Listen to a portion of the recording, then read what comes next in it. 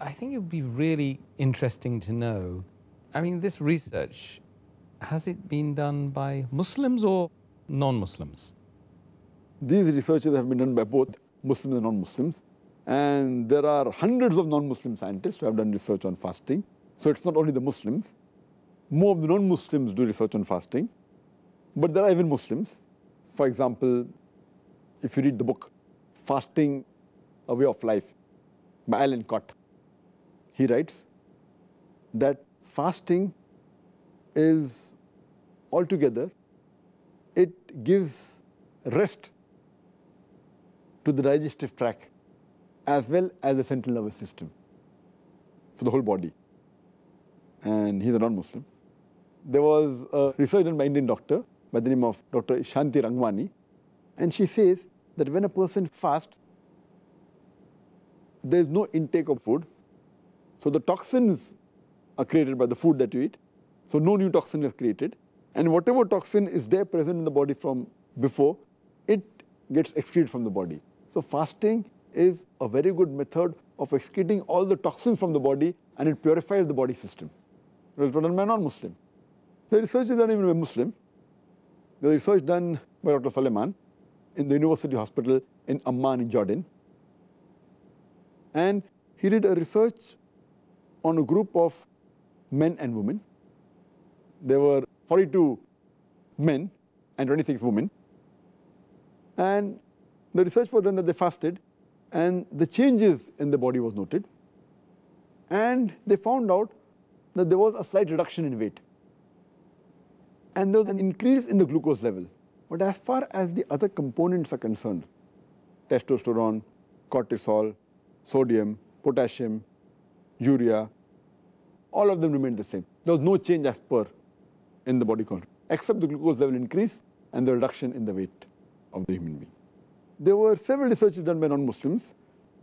There was a group of non-Muslim scientists who did research in Africa in areas where there were famine.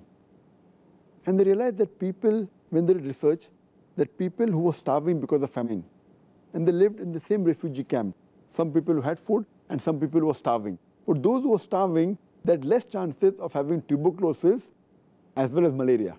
So fasting increased the defense mechanism against tuberculosis and malaria. So it's Allah's mercy, alhamdulillah. Can you believe? Because they were starving, it prevented them from having tuberculosis as well as malaria. Allahu Akbar. there were researches done by non-Muslims that show that fasting increases the longevity, increases the lifespan, and it has a reversal on the aging process. There was research done by a Muslim scientist by the name of Dr. Osama Kandil in the Harvard University. Muslim, but in a non-Muslim country, non-Muslim university. And he did a research on patients suffering from cancer. And he tried to find out what way do the cells function, especially the killer cells, which attack the cancer cells. And he did a counting just before they started fasting. And then he again did a counting on the 21st day of Ramadan, then 28th day of Ramadan. And he found that there was a marked difference. After 21 days and 28 days, the number of cells, the killer cells, they increased. And these cells, they attack the cancer cells. And it shows that even the immunity increased. The defense mechanism of the human being, because of fasting, it increased. And there was another research again done in the same patients, and it found out that the T cells, which are normally required for the defense immunity of the human being, they increased a gate level. And T cells are mainly responsible when anyone has a disease, they are mainly the soldiers, or they are called the major general of the army that you have. They are the T cells.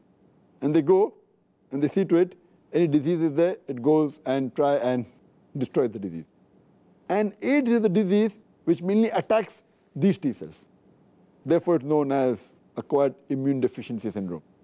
So when you fast, these cells increase and the immunity of the human beings increase. I would like to mention one more research done by a European non-Muslim by the name of Dr. Jeffrey.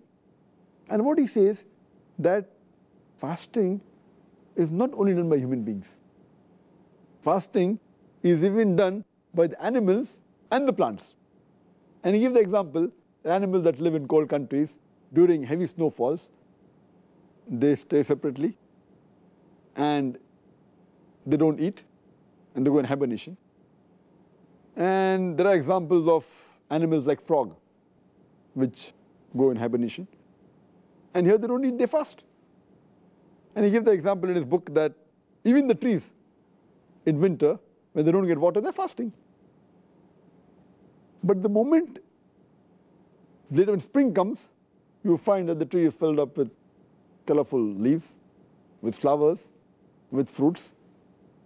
And he suggested that every human being, every year, should at least fast for 40 days.